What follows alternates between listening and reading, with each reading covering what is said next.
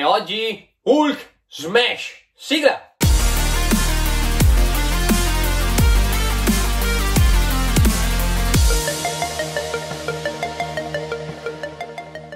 Ciao a tutti ragazzi, bentornati sul mondo virtuale Official Channel, sono Maga, oggi in solitaria come vi avevamo anticipato perché per colpa delle restrizioni io ed Alme non riusciremo sempre a fare video insieme quindi oggi vi porto un Maga Consiglio in solitaria ma è veramente una bella chicca. Voi condividete, mi piacciate, commentate a più non posso abbiamo Hulk, il ritorno degli eroi. Uscito in edizione cartonata dalla ovviamente Panini Comics è un po' più grande dei cartonati normali e mi è proprio piaciuta come storia, non l'avevo mai letta, questa storia originariamente è uscita a cavallo del, del 99 e del 2000, è un po' un ritorno alle origini del personaggio, un po' una rivisitazione forse da un certo punto di vista della figura di Hulk e Bruce Banner.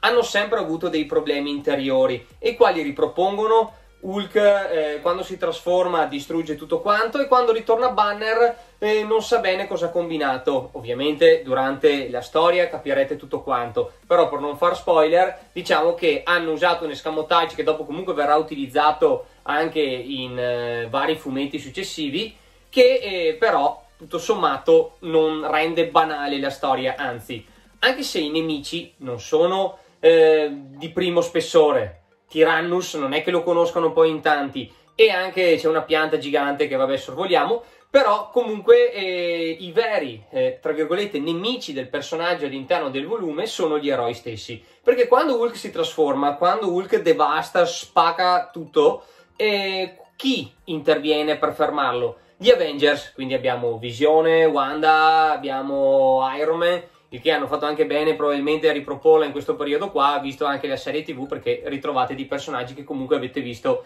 eh, su Disney+. Plus. Ma eh, c'è anche un bellissimo scontro con Wolverine, lo scontro con Wolverine è epico perché Wolverine con i suoi artigli riesce a, diciamo, ad avere un vantaggio su di lui perché lo acceca, poi ci sono botte da orbi e viene comunque poi tutto spiegato e contestualizzato bene, non è il solito fumetto di Hulk botte, spacco tutto e distruggo tutto quanto, no, è tutto spiegato bene, è tutto incentrato bene sulla figura del personaggio e perché danno sempre fastidio a Hulk.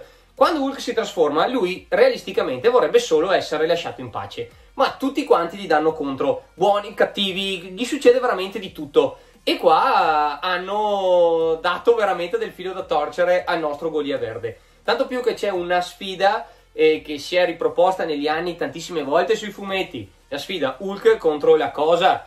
Sappiamo già chi vince, anche se ultimamente la Cosa ha vinto finalmente in uno degli ultimi fumetti dei, dei Fantasy 4. Di solito ha sempre vinto Hulk o massimo si sono pareggiate le cose. Comunque hanno sviluppato bene sia la storia sia anche eh, i disegni e la potenza di Hulk la possenza, il, i muscoli del nostro personaggio sono resi veramente da Dio. Quando sfogliate un albo di Hulk, secondo me la roba che colpisce di più, che deve un po' farvi eh, venire voglia di leggere il fumetto, è il, il disegno. Quando si vede Hulk molto forte, molto verde, si vede tanto verde all'interno di questo volume, il che è un bene, è veramente una gioia per gli occhi e vi fa voglia di leggere il personaggio di Hulk. Troppe volte sento parlare di Hulk come un personaggio ehm, superato oppure un personaggio che è solo potenza e ignoranza. No, quando ci sono proprio gli spezzoni de- della storia con Bruce Banner e il perché Hulk ha combinato quello che ha combinato e non aveva il controllo delle sue facoltà,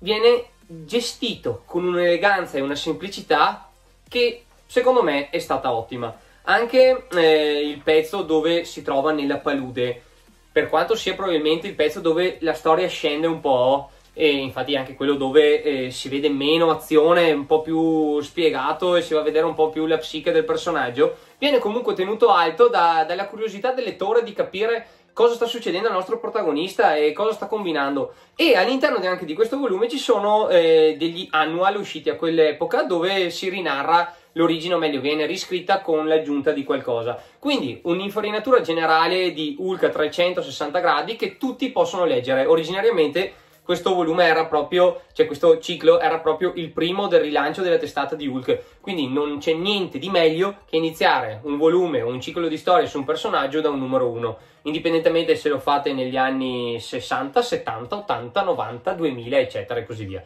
Fatemi sapere la vostra, a me è piaciuto tantissimo e sapete che sono di parte, però questo veramente è un bel fumetto del personaggio e sarei proprio curioso che eh, tanti di voi commentino sotto e magari si informino anche sulla storia perché è veramente bella. Tanto più che il ritorno degli eroi è una nuova eh, mini collana della Panini Comics dove ha fatto uscire anche Iron Man e anche i Fantastici 4 e se saranno all'altezza, se mi divertiranno, se avrò anche il tempo di leggerlo perché eh, il tempo è sempre quello che è, ve lo porteremo ovviamente sul canale. Da Maga è tutto, ci vediamo al prossimo video, voi condividete, mi piacete, commentate ancora, ve lo dico, seguiteci su tutti i social, nella descrizione c'è tutto e c'è anche eh, il modo per supportarci attivamente con un acquisto tramite un nostro link o tramite il sito del negozio. Da Maga è tutto, Daimio vi saluta, ci vediamo al prossimo video, hashtag io sono un virtuale e leggete i fumetti. Ciao ragazzi!